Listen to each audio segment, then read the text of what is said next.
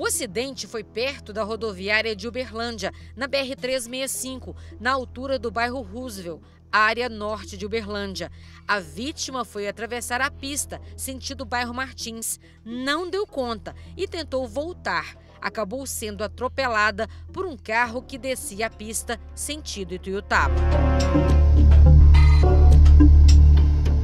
A vítima tentou fazer a travessia num local proibido e tinha dificuldade para se locomover. Usava uma bengala.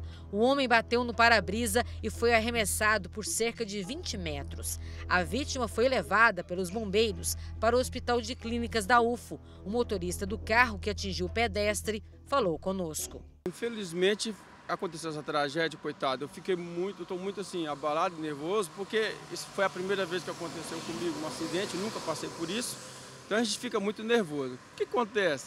Como estava um pouco, chovendo pouco, não era aquela chuva forte, mas estava chovendo pouco. E eu estava vindo naquele sentido, esse sentido aqui da porta, a porta da ovelha, passei o, o, o, radar e uma carreta empareada junto comigo. Eu estava vindo nesse sentido, eu saí do lado, do lado passei para o lado de cá, porque é ruim andar atrás de carreta, né? Quando eu assustei, ele eu, eu foi muito rápido, eu vi ele tentando atravessar uma carreta. Eu achei que ele ia bater na carreta.